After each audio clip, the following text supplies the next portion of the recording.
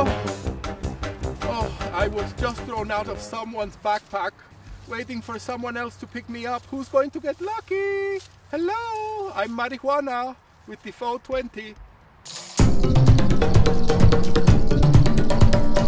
Oh my goodness, who will be the lucky customer who shows up and picks me up and smokes me or vaporizes me or, or oh goodness, eats me.